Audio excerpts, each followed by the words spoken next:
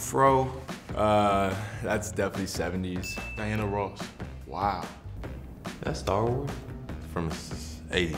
Yeah, that's one of those footballs with the uh. 70s. Rubik's Cube, 2000s. I'll give it the 90s, and of course, them J's came out in the 90s. Maybe 80s. Tape recorder. A record player. I would say the 80s. No, I would say 80s. I want to say like 80s. Dr. Martin boots. Man, 2000s. My man Will Smith. Come on.